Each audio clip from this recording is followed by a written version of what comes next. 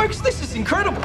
Marshall Bennett shows up out of nowhere, passes the entire field, and is now giving one of our hottest up-and-coming racers a run for his money.